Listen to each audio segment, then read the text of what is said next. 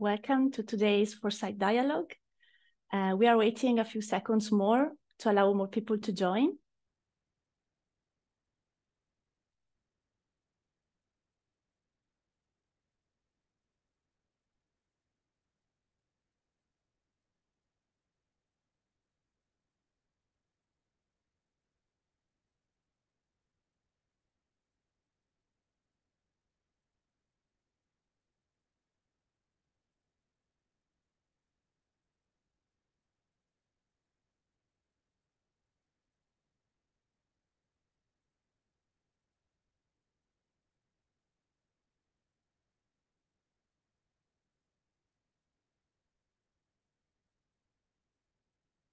Welcome to those who are joining us. Uh, we still wait uh, a few seconds uh, to allow more people to join.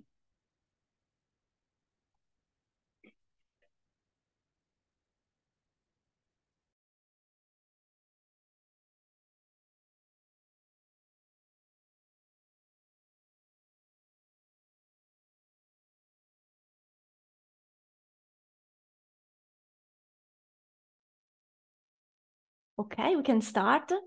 Uh, hi, hello everyone. Welcome to this uh, new Foresight Dialogue, the series of events uh, through which uh, the Euro-Mediterranean Center on Climate Change, CMCC, is hosting uh, writers, uh, artists, journalists, scientists, innovators to discuss the role of communication in accelerating the climate transition. Uh, my name is Alessandra Mazzai. I am part of the communication office at the CMCC Foundation.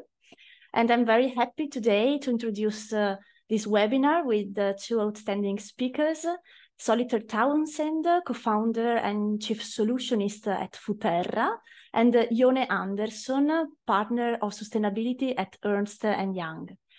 I will properly introduce uh, uh, the speakers in a while. Let me give me let me give you a brief introduction of the CMCC and the context in which uh, we are organizing this uh, initiative. Uh, CMCC is the Italian Scientific Research Center on Climate Change and its interactions with the environment, the society, the world of business, and of policymakers. Uh, our, our work aims to stimulate sustainable growth, to protect the environment, and develop strategies for climate change mitigation and adaptation. Uh, the CMCC is organized in the form of a network distributed throughout Italy uh, with locations uh, in Lecce, Bologna, Caserta, Milano, Sassari, uh, Venezia, and Viterbo. Uh, this is a network that involves and collects uh, public and private entities working together on uh, multidisciplinary studies concerning uh, issues of interest to climate sciences. Uh, our scientific activities are uh, distributed in 10 uh, research divisions, which share different knowledge and skills related to climate sciences. Uh, we benefit from the extensive research experience uh, of the CMCC uh, members and institutional partners that are listed in this slide. And besides the scientific research, of course, we want to have an impact as uh, uh, shown the, in our mission. Uh, we are committed to inform and facilitate the dialogue between scientists, decision makers, and the general public to support decision and action to benefit uh, the society and the environment.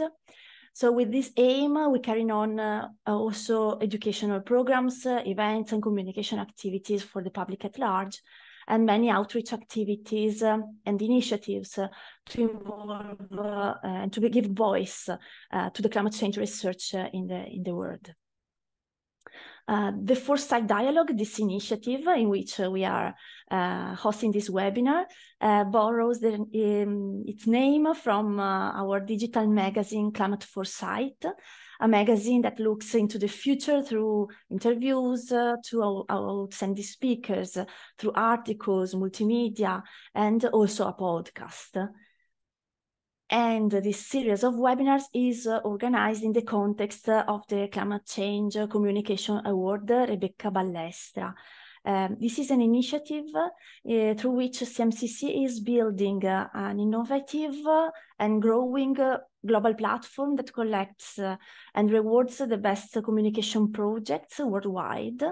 Uh, and uh, we aim to connect their authors in uh, a network that fosters collaborations, offers opportunities, and open a space for discussion for climate change communication experts. Uh, the second call for proposals for the award is now closed and the jury is uh, at work to define the winning project among uh, the more than 350 applications received. Um, if you go to this website,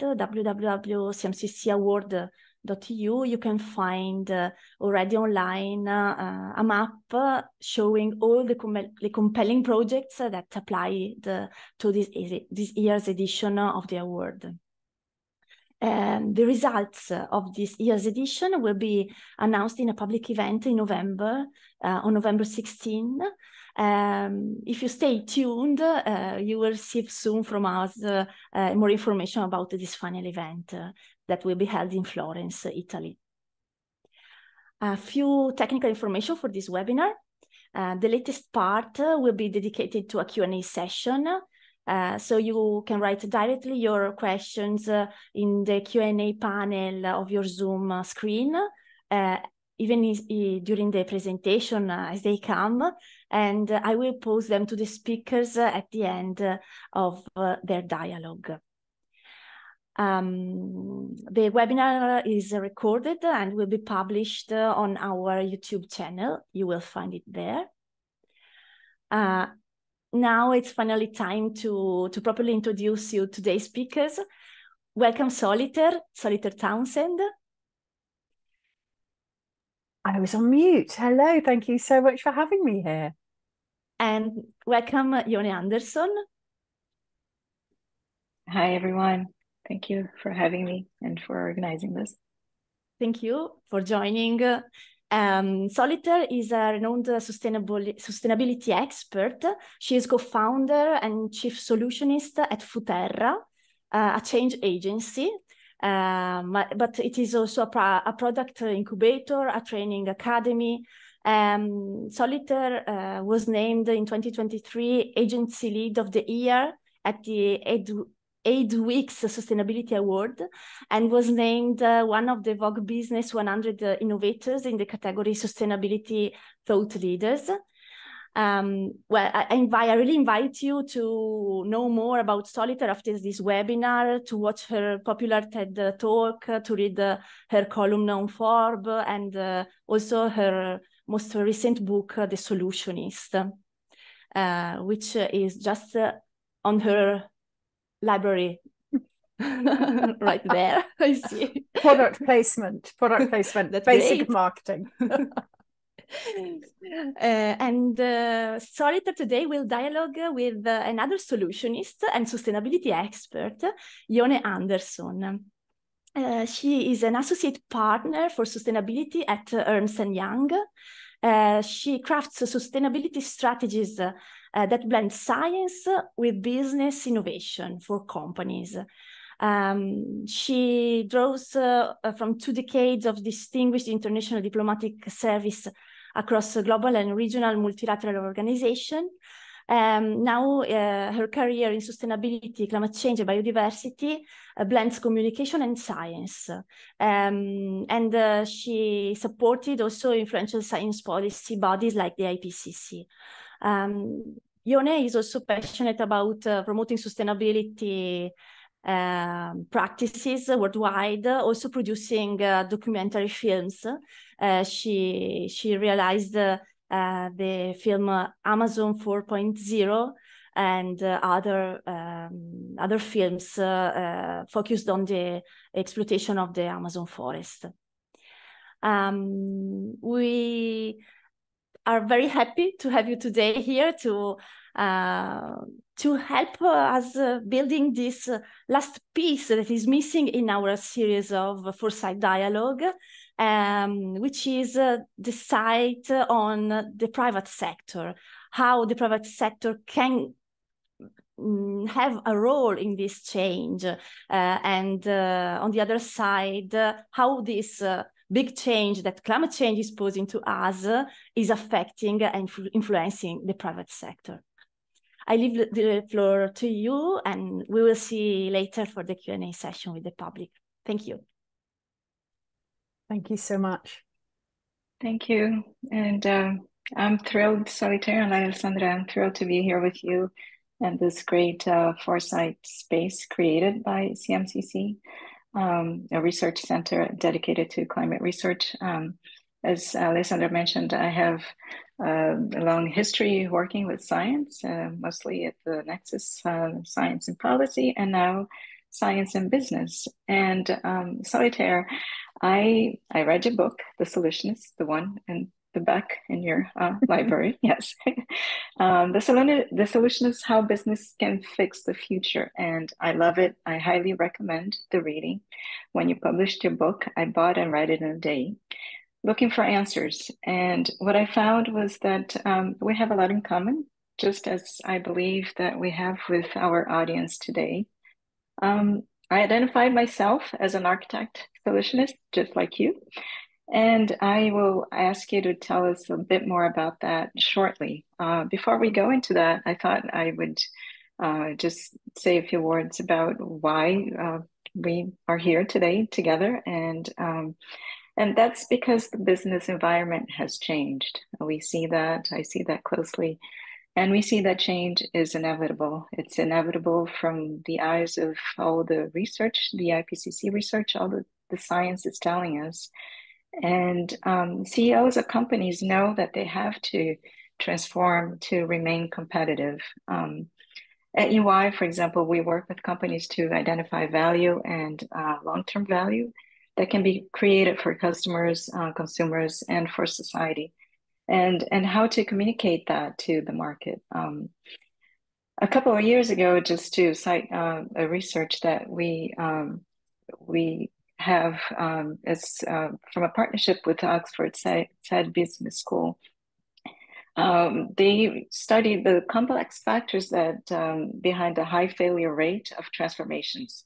And, they did that to explore how leaders can drive transformations that result in lasting change. Um, I mentioned that because that research identified that to maximize the level of success, organizations need to excel at implementing leading practices around six drivers. And one of those was inspire, creating a vision for all to believe in. Um, I really believe in inspiration and inspiration as a way to engage and to get people to act and um, come up with solutions, whatever they are. And um, so, with that, I would like to ask you, Solitaire, um, solutionists. Can you tell us a bit more about the principle and who solutionists are besides the ones here today? Thank you so much, Irene. And um, first of all, I want to thank the CMCC for the incredible work that they do. I use CMCC resources, particularly all the fantastic examples of communications that have been submitted um, over the past. So thank you so, so, so much for that work. Not only you actually answered that question in the question because actually solutionists are the people who are on this call. The very fact that you've turned up to watch either sort of right now or later on YouTube, that you've turned up to watch us talking about what it's going to take to actually solve some of the challenges that we face today, that makes you a very special and slightly unusual person. So, all of you who are listening, you're very special and slightly unusual. Now, I was looking for a word to sum up these incredible people that I've come across in two decades of working in sustainability the entrepreneurs, the CEOs, the activists, the creatives, the change makers, because we had words like change maker, but change could be bad. We had words like activist, we had words like sustainability professional, we had all these terms, and none of them seemed to sum up the people the actual human beings who are doing this work. And so I stumbled across the word solutionist in the English dictionary, in the Oxford English Dictionary. It's a genuine word and it means a solver of problems. Now, all we have to do is look out of our windows to see the problems that we're facing today. The problems in society with social exclusion with uh, youth fatalism with anxiety with um, inequality and of course the extreme challenges and problems that we're facing in our natural environment. Uh, problems that were not anticipated by those who laid down the rules of the economies that we exist in. They simply didn't realize that there would be natural limits um, to how economies would function. So solutionists are those who are solving the problems that were laid down um, in in previous in previous decades. Now it's not as if there was people back then who were going, ha ha ha, how are we going to ruin the climate? Although to be honest, there might be a few who today feel a bit like that. But these weren't in an intentional problems. So many of the problems we face today are caused by people trying to solve problems from the past. So, as solutionists, we want to learn about what has worked. We also want to learn about what hasn't worked and see if we can bring our part of the answer. And the good news is that there are hundreds of thousands of millions of us. There are so many people out there around the world who are trying to be part of the solution, either on a single specific issue which they're trying to solve, on massive global issues which they're trying to take on, on huge opportunities they're trying to bring. And actually, it's a wonderful, wonderful group of people, and I'm so excited to be part of it. Excellent. Yeah, you know that um, uh, one of the one of the, my favorite quotes from the book um, because of, of my work with science and scientists, um, says, um, You said science tells us what to do, while storytelling makes us want to do it. Um, how do we tell this story better? That's one of the reasons. My solution to that question was to make a documentary film. I had my friends, and many of those are scientists, and I thought, well, it's about time everybody's talking about the Amazon and there's all this happening and people don't know what it's like. And um, that was during COVID in 2020. So um, with we already have all the images that we could possibly want about the Amazon. So um, my friend and I decided that this was, you know, something that we wanted to do, and that was one of those possible solutions. But Perhaps you can tell us how do we tell the story better? We're talking here in this uh, CMCC space. How do we tell the science better than we have been?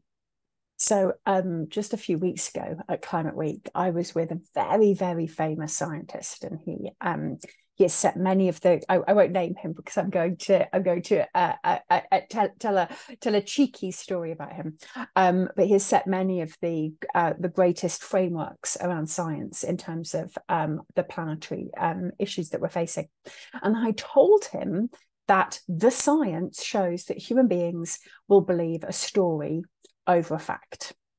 And he said no I don't believe that's true. I was like you're denying the storytelling power in the same way that people deny climate change just because as scientists many many scientists don't want that to be true. They want human beings to be empirical. They want us to be rational. They want themselves to be rational. And actually saying a science a, a story can blow all of that away can be really threatening. But it's true.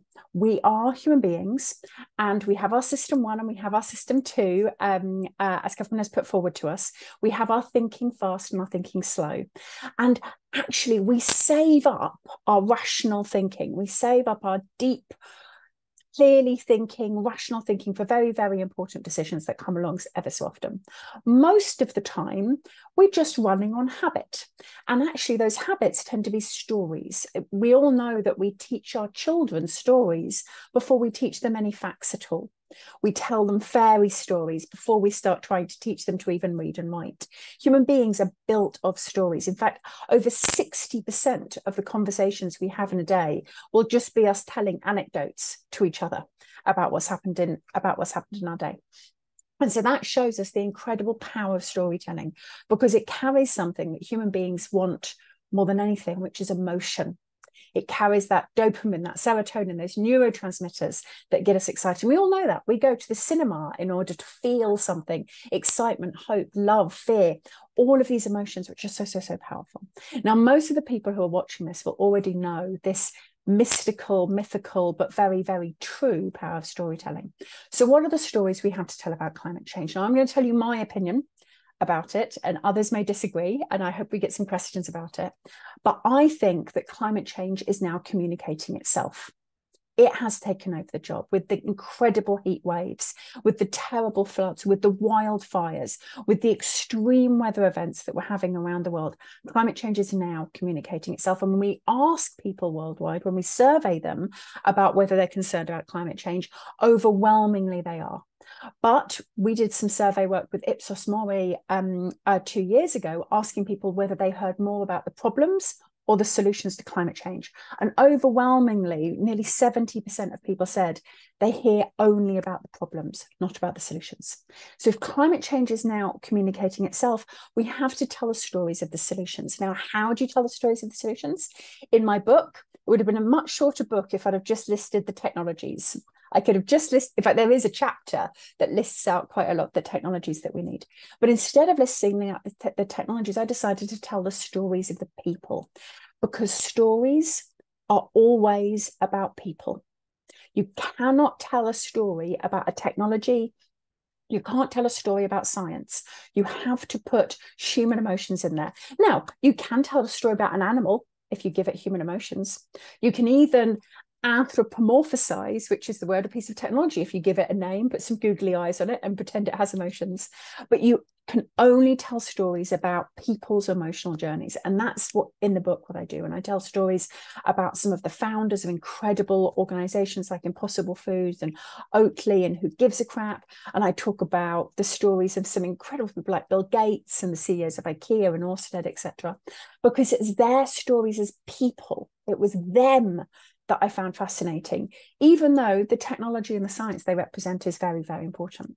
So tell the stories of the solutions and make sure those stories about people. And that's where it gets hard if you're not a storyteller by trade, if that's not your profession, you've probably been taught to never talk about people except in the third person and to never ever talk about yourself. You never talk about yourself in an academic paper or in a research paper. It's almost as if you don't exist except as the name at the top. It's always in this very, very objective tone of voice, which is why people don't get terribly emotional about academic research.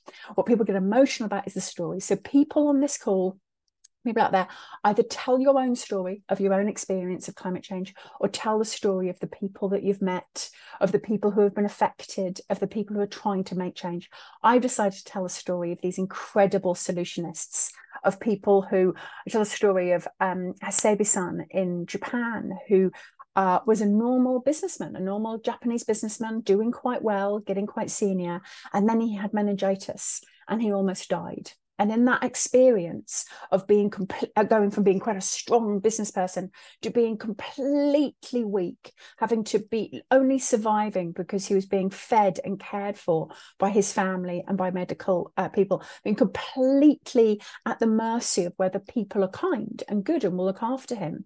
That's when he had this realization that there must be more to his life than just making money for his company. Now, he ended up as CEO of one of the biggest companies in the world, but he's kept on to that revelation that he had when almost dying as part of his journey. And I find that story of his emotional realization that there was more to life than just being a company man, that story is so much more compelling than some of the fantastic science and products that Kao, his company, has produced. Yeah, I, I remember reading that, and uh, that's uh, and that was a, great example. Um, you mentioned uh, technology, and of course, now that uh, we're seeing the transformations that need to happen with all the industries, uh, oil and gas, renewable energy is at the top of that list. Everybody's talking about it, um, perhaps talking about it too much, not looking at all the other possibilities. But um, adapting, and this is a quote from your book also adapting to necessary change isn't just possible, it's what drives innovation. Um, what are a couple of uh, favorite examples of innovations that have inspired you? Oh, there are so many to pick from. Um, uh, I like small innovations, like the folks at Small, S M O L, who are basically making very small, very effective little pods that you can use to do your washing, and they post them to you. So although it's very simple, it's very convenient. For me as a consumer, it's just a better way to consume. I love that innovation where they had to work out how to get this through a post box how how small did it have to be to get through a post box? And what did that mean for the entirety of the product they had to make? I love those small innovations. Or even an innovation that i've been involved in myself. So i love cats. I'm a real pet person and cats are my pet. And unfortunately the intergovernmental panel on climate change tells us that pets are quite unsustainable because they eat a lot of meat. Now a lot of that meat might be offcuts from the meat industry but the meat industry is not very sustainable. So actually those offcuts themselves aren't sustainable. So rather than go, oh, I'm either going to ignore that and just keep having a cat and just pretending it's okay, or I'm going to deny it and say, actually, no, it's not true. Instead, I decided to do something about it. And I did some research and I discovered insect based cat food. So um, I actually started a cat food company, Lovebug, to help, uh, to help solve that. And one of the reasons why I really enjoyed being part of that innovation is that it got me something that I wanted. So, too often in sustainability, we think it's denial or sacrifice. Either pretend there's not a problem or sacrifice everything you care about. Those are not two options I'm prepared to live with.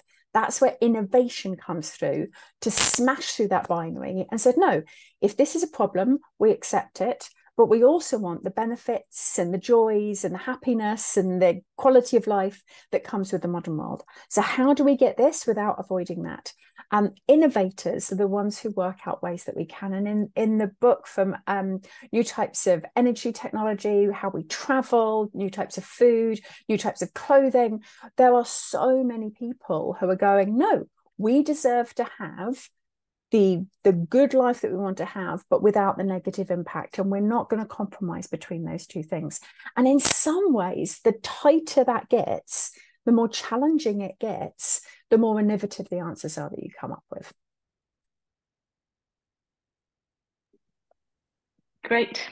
Um, the risk of course when you do something or when you don't do something is that um, it might be perceived as greenwashing which leads me to another favorite quote uh, from your book, and that is more often than not, greenwashing is the product of good intentions, an enthusiastic desire to share what you've done well.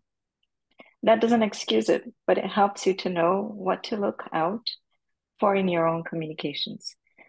So um, perhaps you can tell us a little bit more about greenwashing. I mean, I, I, I really like that because that can be uh, an excuse also you know because you're really trying to do something and you're what's that fine line between uh, saying what you're doing and trying to sell something that you're not yeah so um when I look at the whole world of greenwashing, I've done a lot of analysis for this, and uh, I know that the EU has said that over 50% of the ads that they see are technically greenwash. The UK, here in the UK, the Competition and Markets Authority judged over 40% of ads were greenwash. Many of the companies that I work with, when I show them their greenwash, it's not malicious, it's mistaken. It's not someone going, How can we lie to our consumers? Now, that does exist. It really truly does. So there is malicious, deliberate, carefully designed greenwash, but it's a very small amount of the greenwash that happens. Most of greenwash is like, this is so cool. It makes me so much better, feel better about my job. This is something which I want to tell the world because I'm so proud that we did it. Let's get it out there. It's over enthusiasm without a great deal of knowledge. Now, um, even just a week ago, week and a half ago, I did some training inside a company um, for their marketing teams around greenwash. We spent sort of two hours together with their marketing teams showing them greenwash and helping them learn to spot it. And at the beginning, they couldn't spot any of the greenwash because we deliberately picked things which weren't obviously so. Um, they weren't giving enough context, or perhaps they were using words like natural not carefully enough. They were just positive, enthusiastic, often truthful, but not the whole truth. So there's a couple of ways out of this. One is bring in some experts actually double check what you're planning to do no advert or claim goes out into the public without being checked by a lot of people. So add a greenwash check to that check, um, because particularly in the EU, there are some very, very serious repercussions coming. The EU Commission has put forward four percent of operating profit as a as a tax on anyone who greenwashes. But secondly, try to swap your brain around in terms of how you think about green claims. Even the word claim what can we claim? How can we claim to be better? What can we claim to have done? Even that puts you into a mindset that's starting from a greenwash perspective. You're starting from growing. How much credit can we get for what we've done? And the public aren't interested. The consumers are never going to go for what you've done on sustainability.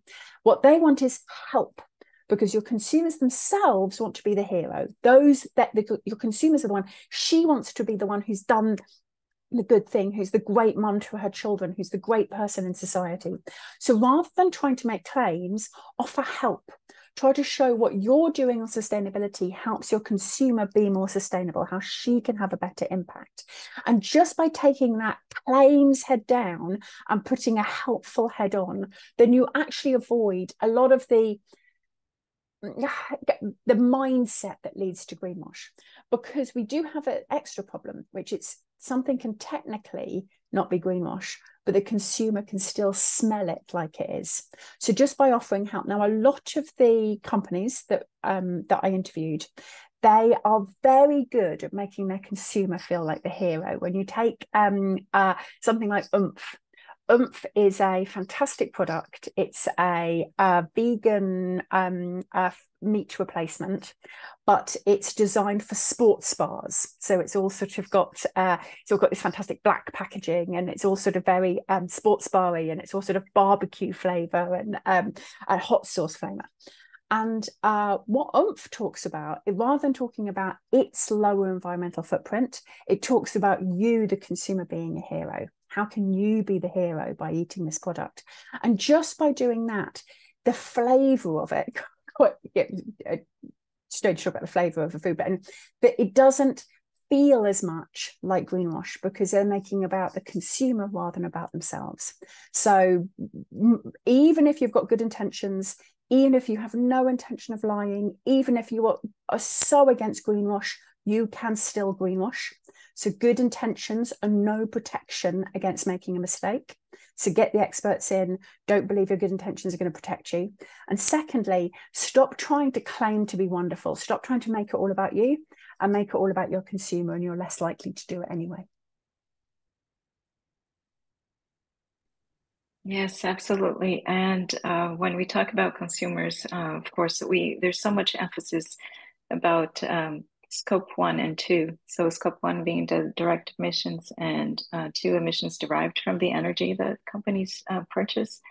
Um, but we have um, scope three, everybody else, um, and where consumers come in, and that's where you also have a say and and the power to make uh, good choices and to feel like you are uh, part, not only part of the conversation, but helping to lead that conversation. Um, and and um, sustainability conversation. Um, in your book, uh, Solitaire, um, you propose action and as a way of uh, out of eco anxiety, as you call it, and um, and it reads that um, eco anxiety now affects 68% of adults in the US and 75% of young people globally. Um, and you say if you want to boost your well-being solve a problem and make one that matters. I don't know how many people we have here with us alessandra but and i don't think we have one of those poll things that people can vote but i wonder if our audience feels this eco anxiety and if perhaps we can use that to sort of close this part and um, open for questions so that we can have enough time to have a conversation with all the people that joined us here today. I would be very surprised if people didn't feel eco anxiety. You you would have to be pretty cut off from the world to not feel it at the moment. I feel it. My family feels it. My 13 year old niece feels it. But one of the things which I talk about in the book is that worry doesn't change anything. Anxiety makes no difference actually doing something about the things that you worry about are the very best way to overcome it. There's no level of self-care or or being good to yourself or trying to do mantras or trying to uh, meditate that is going to get you over eco anxiety any better than actually taking action. Now you mentioned um in a, moment ago about the fact that you're an uh, architect. So my book i go into three types of change makers architects who are big world thinkers who like thinking about all the big strategies, how everything goes together, pulling together this big, big, big plan for how change can happen. But they can sometimes struggle to activate them. I'm I'm an architect. I'm I'm a love, love, love up there, but then I get really lost when it comes down to what to do. At the other end, you've got um, actioners actioners do. They are the ones who go this is great. Thank you so much for talking about all of this but what do i do? What are the things which i actually need to get on with? Show me the plan and i will go and do it. Now actioners are desperately important for sustainability because otherwise nobody would ever do anything. But sometimes they think that doing something wrong is better than not doing anything at all, which means sometimes they can get caught into continuing to take action that isn't working anymore, which is why your architects work really well with the actioners. The architects always have got a plan for what the best thing to do is, and the actioners are great at doing it. So those two groups need to come together. But there's a third group, and it took me some time of interviewing. And in fact, there were some people who I interviewed some, from some amazing companies who kind of pinged this in my head. And in fact, the CEO of um, of IKEA was one of them, which is what I call accelerators. And accelerators are people, people they know what makes human beings tick. They're great at putting teams together, great at keeping people motivated, inspired. They know who needs to do what, not just what needs doing. And they give real permission to people to talk about this for the fact that it's something that in their organizational culture you can take action on. And within this group, we will have, within those who are listening now and later on, there'll be architects, there'll be actioners, and there'll be accelerators. Job number one, find out which one you are. And job number two, surround yourself with people who've got different skills to you because you're going to need to build a team and they're going to need to be motivated and they're going to need to be cared for. And you're also going to need to take action and you're going to need to do something and actually make things happen. And you're going to need a plan. And that's why you need all three together. So I'd love to know in the chat which one people think they are how many uh, architects do we have, how many actioners do we have, and how many accelerators do we have? Um, and perhaps people can even contact with each other. If there's anybody out there who needs to connect with people who are different to them, um, maybe say so in the chat. Thank you. Thank you, um, Solitaire. Thank you, Ione, for your uh, very interesting dialogue. Uh, we really invite uh, people uh, who is joining the webinar to to, jo- to join also this uh, this session, which is open to anyone. Um, we are receiving uh, uh, some questions. Uh, um, I I will try. Note chat is disabled. They say uh, in the Q and A session, you um, in, the Q and A panel, you should write, not in the note, not in the chat, but in the Q and A. Okay. Oh well. Uh, I also ask my colleague Roberta if she can also uh, enable the chat, which can be useful in order to allow exchange among the, the um, participants as suggested by Solitaire. In the meantime, if you have questions uh, for the panelists, please uh, um, write in the Q&A um, panel. Um, we I've received a question from uh, a colleague at CMCC, Marina Menga, who asks uh, um, on the other way around, what can uh, us as consumer, how can we push companies to do better? It's a brilliant question, actually, and it's one which sometimes people feel like they don't have any power, and that all the power sits with with companies. I can tell you, working with many of the biggest companies in the world, they are obsessed with you. They are obsessed with what you, the customer, think and what you do. And in the book, I go into the example of plant based eating. So I work a lot with a lot of the uh, big food companies, and I can tell you, none of them saw plant based coming. They weren't ready, they didn't have products, they didn't realize it was coming. Veganism had always been a thing, vegetarianism was coming up a little bit. But actually, there was a, a TV program called Game Changers, and Game Changers was a lot of sports people, athletes, bodybuildings, even cage fighters talking about how eating more plant based gave them availability of protein, availability of calories much easier than meat did. And it massively increased over time a huge desire for more plant based foods. That was a completely consumer led movement. Now you've got a lot of companies that are catching up. You've got a lot of businesses who are now providing great um, resources. Even just down your supermarket, you can find plant based options. But it was actually started from consumers. So, one, what you buy, every time you buy, you vote. Every single thing you vote is you're voting for the world that you want with what you buy. Secondly, you can do what Professor Katharine Hayhoe, who is one of the most outstanding climate scientists I know, Katharine Hayhoe says the most important thing to do about climate change is to talk about it.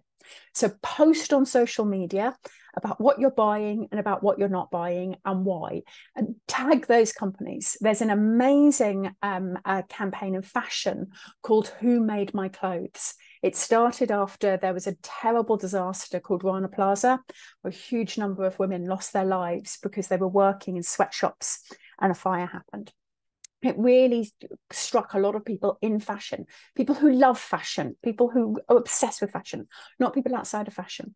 And those people inside fashion started taking photographs of the tags inside their clothes and just tagging the company who made their beloved jacket, their most favorite coat, their amazing pair of shoes, and saying, Who made my clothes?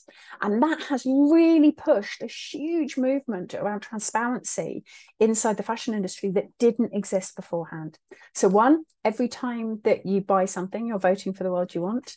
And two, raise your voice, say what you want, talk about what you're buying and what you're not buying, and tag those companies when you're doing it on social media. Because I promise you, they listen. They're obsessed with you. Thank you, Solid. Um, going back to eco anxiety, uh, Thomas uh, is asking uh, uh, what kind of stories uh, and narratives can we use to prevent people from getting overwhelmed with all the problems of the world and become uh, apathetic? Thomas, this is a great question. And I will promise you, I am more afraid of climate fatalism than I am of climate change. Climate change is just chemistry. It's planetary chemistry. It's difficult, it's challenging, but we actually have a lot of the solutions that we want. Human beings are complicated. We know more about climate change scientifically than we do human consciousness. We don't even know what human consciousness is, but we understand the science of our of our climate. So um, overwhelmed with the problems, doom scrolling through everything that's wrong with the world can lead to a fatalism, a giving up, an apathy, an ennui, a terror, and it can have really, really negative effects. So the narratives that we should tell are of the solutions. It's a very, very, very simple answer. Tell the stories of the people who are taking action, and how they're benefiting of it. Tell the stories of the technologies. Tell the stories of the changes which are already happening in the world find the amazing characters. Um, I often uh, talk about the fact that there's a reason why Erin Brockovich is one of the most famous environmentalists. There's a movie about her. There's a story about her as a solutionist. So, um, uh, what I tend to find is we don't need to tell the story of the problem anymore. We need to tell the story of the solutions. And if you've got a solution yourself, or if you know solutions, and if I um, if I'm with particularly a young person who feels overwhelmed, what I tell them is how amazing it feels working in this movement, how incredible it feels to be part of the solution, how one third of jobs on LinkedIn now ask for sustainability skills, executive jobs, this is. And so, actually, how rather than worrying about it, get a job in saving the world. Um, Gewin, sorry for not for my pronunciation, Foster, another participant asks, uh, what do you feel about how to bridge the generational uh, changes? Uh, elders versus youth, uh, different values and different uh, disciplines. There's always been significant generational differences. Um, I'm Gen X, the generation who always gets forgotten. Everyone always talks about the boomers, the millennials, and the Jet and the Zs, and it's like, "Hi, Gen X here." Sort of born in the seventies. We always get we always get um, uh, dropped out. But I remember my parents talking about the problem with their parents and their grandparents. There's always generational differences. At the moment, we have a quite unique generational difference. One number one, because there's more generations alive together than there has been throughout history because of longevity. So we have people who are living much longer, which means you have got a lot of people of different generations. Usually, it's usually throughout all of history, there's been more young people than there's been older people. And of course, here in Europe and places like Japan, that's no longer the case. So, number one, we have a lot of people from different generations. And secondly, right now, we have a very, very big difference between older generations and younger generations. And it's not on values and it's not on uh, on on how people feel. The big difference is on media consumption. So people under 30 consume social media and people over 30 and over 40 consume traditional media and there's very little crossover so perhaps you read some newspapers and read some television and spend a bit of time on instagram but most of your news and information you get through traditional media or you spend your entire time on YouTube, on TikTok, and you actually don't consume any traditional media, which means the different generations are getting different information, completely different information. In fact, the vast majority of people under 30 don't consume any news at all worldwide. Well over 50% don't consume any news at all worldwide unless it comes through TikTok. So that's the big difference that we have. It's not a difference of values. Human beings have always been human beings. It's not a difference of perspective necessarily. It's a difference of information, and people are getting information in very, very different ways. And so, how do we overcome that? Well, um, one of the ways is to uh, go to where the young people are, maybe spend a little bit more time on TikTok and elsewhere. And there's a lot of people who are working to try to make sure that that information gap is is closed, and that people who are older and are consuming newspapers like I still read a newspaper, that automatically makes me old. still reading newspapers and part of the old generation, try to spend more time there. But it is going to be an issue.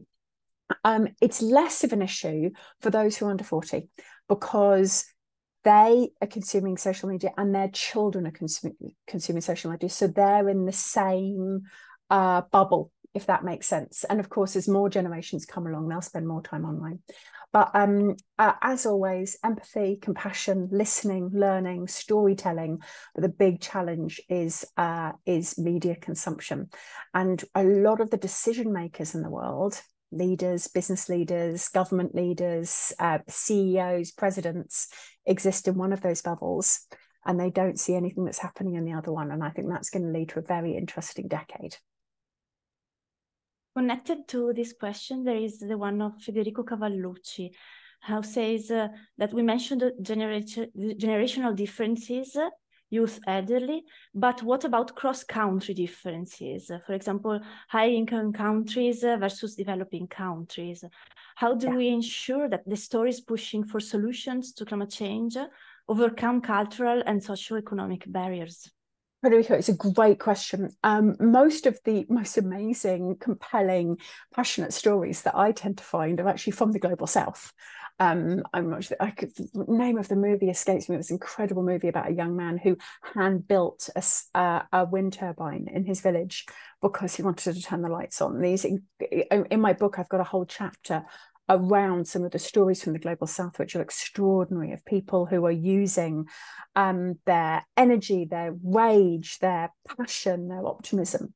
Another thing which we find is that there's a great deal less climate doom in the global south, even though the global south is being hit very hard by climate change, because there's this sense that the solutions are good for those countries that the only way you're going to get the lights to turn on in parts of sub-Saharan Africa, in parts of the Andes, etc., is through solar panels. It's the only way. It's the only way the lights are ever going to turn on. No one's ever going to build a coal power station for some of these villages and so there's a great deal of enthusiasm so i think we there are very very very serious um, barriers culturally there are barriers um, uh, language wise you know we're holding this session in english um, translations are possible but one of the things which new technologies can give us is the opportunity to hear stories from around the world.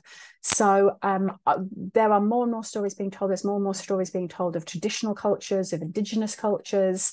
There are more stories being told. Um, Netflix has a whole series of stories from around the world where um, various celebrities go and visit solutions that are in different parts of the world. So I would I would say the the stories are compelling wherever they come from the world. So people are interested in people. And if you've got a good enough story, if it's a passionate enough story, it doesn't matter on whether it comes from Dublin or Dakar or Delhi, if it's a passionate story. And I think we're beginning to see storytellers around the world being able to be much, much, much better at telling those stories from the global south. Um, and you know, that's where a lot of the mindsets are that the whole world needs. Thank you, Solitaire. Um, I would have a question for Ione. So I I give a pause to Solitaire who can rest her voice for two minutes. I, I, I have a question uh, for Ione because um, given your role in um, in supporting uh, the firms and companies to build their sustainability strategies, uh, what are the, um, in your opinion, the, the most common uh, misconceptions and barriers uh, that prevent them and prevent people in general from engaging with sustainability initiatives? And what is the way out? Are there strategies that uh, uh can address these uh, obstacles? Um, thank you, Alessandra. First of all, I just want to say I'm so excited that I see the you know, growing number of questions here on the chat, and that usually doesn't happen. We're going to be out of time with so many wonderful questions, so I'll be quick. Um, the biggest misconception is that sustainability is costly. So uh, companies shy away from trying to do the right thing because they think it's going to cost too much. The the chief financial officer a lot of times will look at the number and say, no, you know, we can't do that. It's too risky. But more risky than that is the risk uh, of the planet not doing it, the risk of not doing it and taking in the global picture, you know, taking in all the natural resources that you need. Basically, everything that we consume come from natural resources, and all that science is telling us is that those are not infinite, and and we have climate change, and we have so many issues that we need to consider. So. Uh, in short, I would say that providing evidence of the economic benefits of sustainability, such as reduced operational costs and increased market demand for sustainable products, which goes back to all our wonderful um, people here in the audience who would probably be more likely to buy a sustainable product than something that is not sustainable. So companies are slowly um, understanding that that it, they need to consider that factor and and that sustainability is not automatically just one more cost that they can't afford to have right now. Thank you, Ione.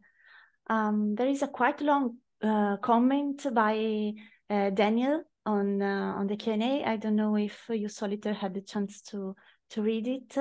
Um, uh, it's uh, connected to the greenwashing uh, uh, topic we addressed before.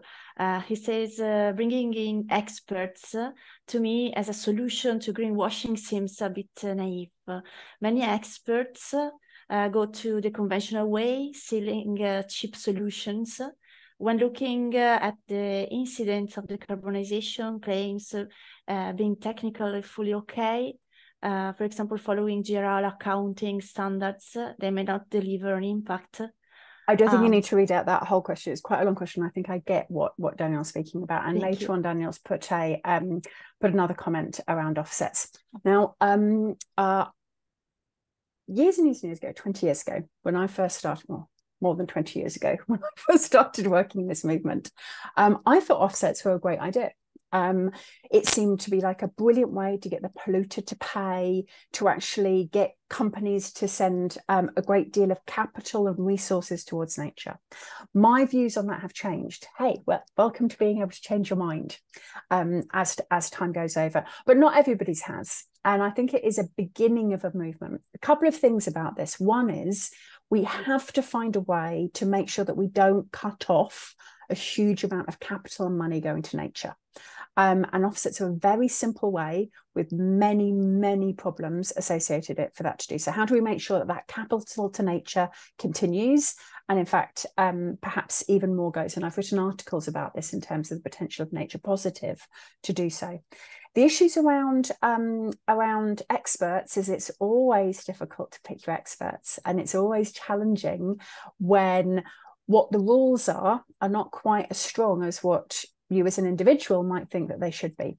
I think job number one is to make sure that people are staying with the rules, which they're not. 40% of people, 40% of claims already outside of greenwash.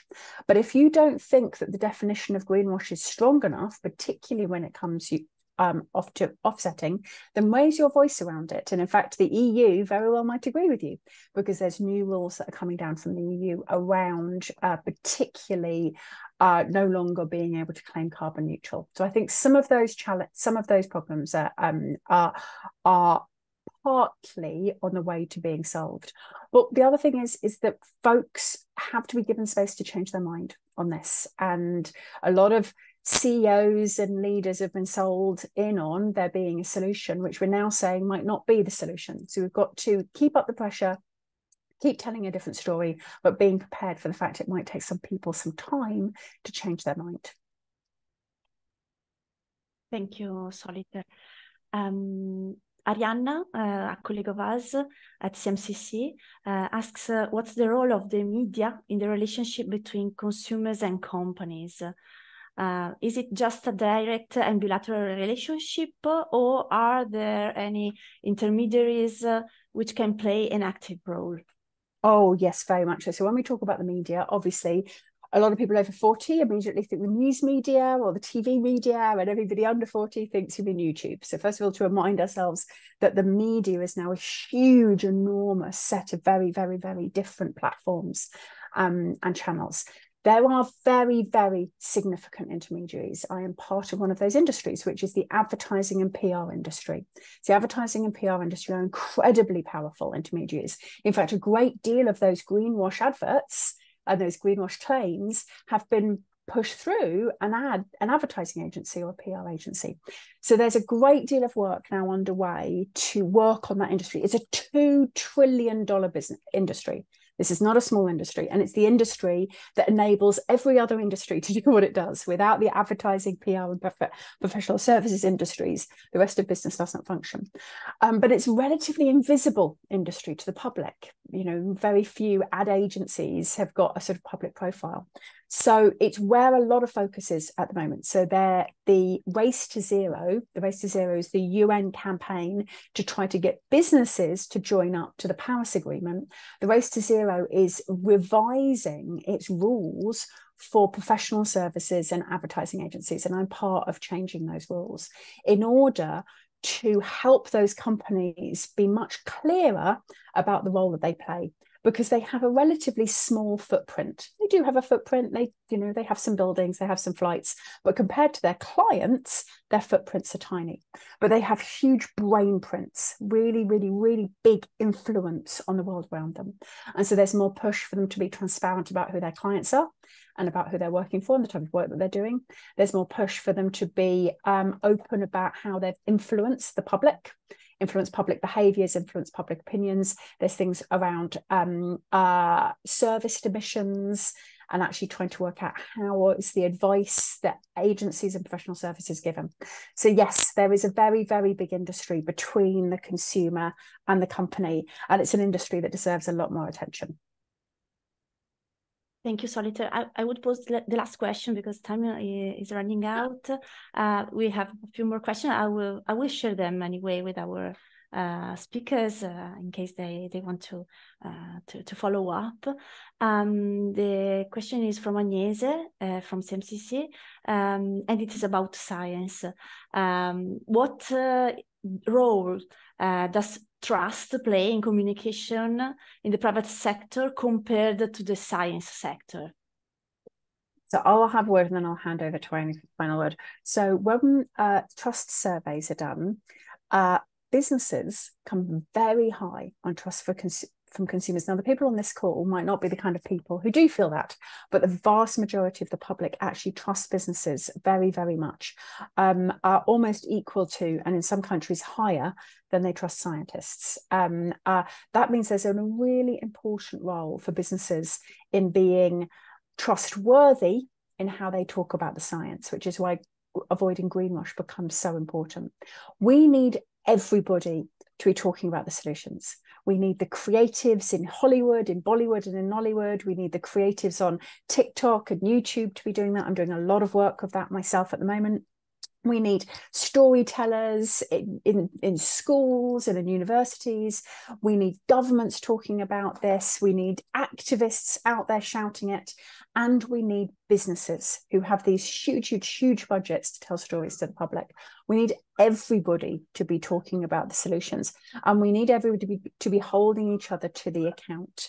Um, now, one of the most important things that we know from the scientists is that the scientists tell us there is still a window They've told us exactly how bad things are, exactly how bad things could get, but they've also told us it is not over yet. And in fact, Johan Rockström stood beside me and he said that it was almost as morally problematic to say there's no hope as there is to deny climate change because they both have the same impact of people not doing anything.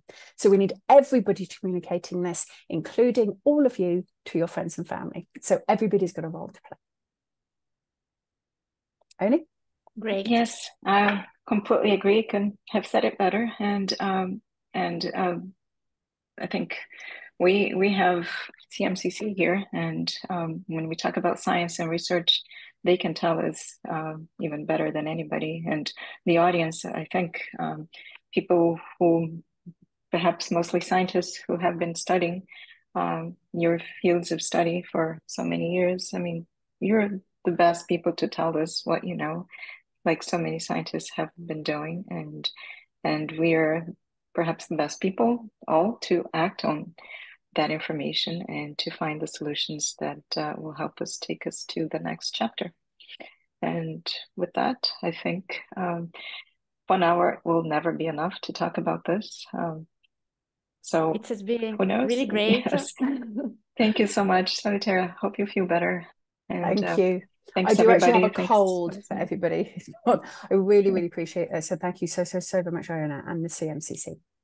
Thank yes, you. Thank, thank you. you. both. And really. read her book. thank you very much. And thank you to uh, the audience who was very active and uh, enjoyed uh, this Q&A session in a great way. Yes. Thank you. Thank you, thank you for thank your availability.